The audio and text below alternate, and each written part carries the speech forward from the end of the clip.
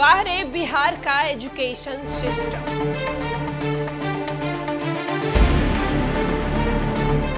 नमस्कार, मैं श्वेता और आप देख रहे हैं न्यूज़ फाउंडेशन बिहार सरकार कहती है कि बिहार के एजुकेशन को सुधारने के लिए उनसे जो बन पड़ेगा वो करेंगे। यहाँ तक कि बिहार सरकार ने बिहार की एजुकेशन व्यवस्था को सुधारने के लिए एक नया नियम भी लागू कर दिया और ये नियम लागू किया गया बीपीएससी के द्वारा। कि बीपीएससी आयोग जो है वो शिक्षक भर्ती परीक्षा जो है वो लेगी इससे जो टीचर बनेंगे, उनके नॉलेज को लेकर बिहार सरकार ये आश्वासन देगी जनता को कि आपके जो शिक्षक आपको पढ़ाने के लिए स्कूल में उपस्थित हैं, उनके पास ज्ञानों का भंडार होगा। लेकिन क्या सचमुच बिहार की एजुकेशन व्यवस्था मुख्यमंत्री नीतीश कुमार सुधार रहे हैं या फिर जनता को सिर्फ़ और सिर्फ़ मूर्ख बना रहे हैं? ये सवाल हम इसलिए कर रहे हैं क्योंकि बीपीएससी शिक्षक बहाली परीक्षा के परिणाम जारी हो चुके हैं। और इस परिणाम में जो रिज़ल्ट सामने आए हैं, वो कहीं ना कहीं बिहार की एजुकेशन सिस्टम पर सवाल खड़ा करता है।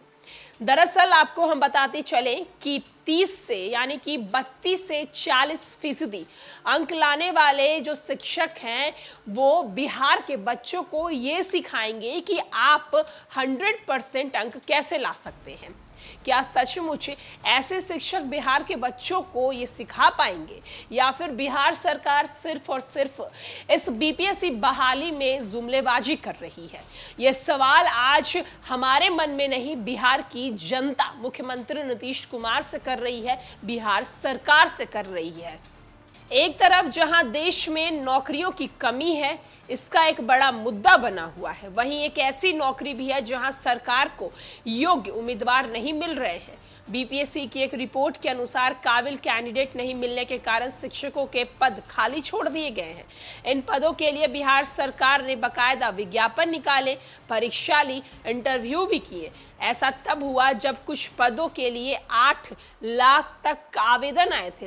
लेकिन कैंडिडेट मानक अब उस पर खरे नहीं उतर पा रहे हैं। बिहार लोक सेवा आयोग से शिक्षक भर्ती परीक्षा के नतीजे जारी हुए तो चौंकाने वाला सत्य भी सामने आया। योग शिक्षक नहीं मिलने के कारण बड़ी संख्या में पद खाली हो गए हैं। आयोग ने अपने ही नियम को शिथिल कर दिया गया है, जो 75 परसेंट सीट भरने का नियम था, योग शिक्षक नहीं मिले तो नियम को भी शिथिल कर दिया गया है। उच्च माध्यमिक विद्यालयों में भाषा के शिक्षकों में सड़सठ परसेंट जो है, वो खाली पद है, हिंदी, इंग्लिश, संस्कृत, उर्दू समेत और छह भाषाओं में नौ हज़ार नौ सौ उनहत्तर रिक्त पद थे, जिनमें मात्र तीन हज़ार तीन सौ स्टूडेंट जो हैं, वो सफल हुए हैं। भाषा शिक्षकों के छह हज़ार छह सौ उनहत्तर पद खाली रह गए। बीपीएससी ने मंगलवार की शाम सबसे पहले क्लास ग्यारहवीं और बारहवीं यानी कि उच्च माध्यमिक स्कूलों के हिंदी विषय के शिक्षकों की कुल 3,221 खाली पद पर बहाली के लिए मात्र 525 सफल कैंडिडेट की लिस्ट जारी की है। मात्र 17 परसेंट कैंडिडेट ही सफल हुए हैं जबकि तिरासी परसेंट अभ्यर्थी फेल हो गए हैं।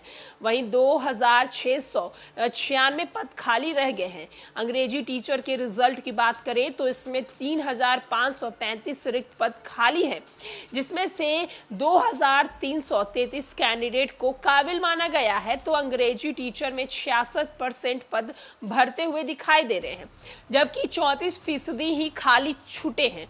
संस्कृत में एक हज़ार दो सौ उन्यासी रिक्त पदों में मात्र दो सौ अंठावन को ही सफलता मिली है। उर्दू शिक्षक की तो हाल पूछिए ही मत।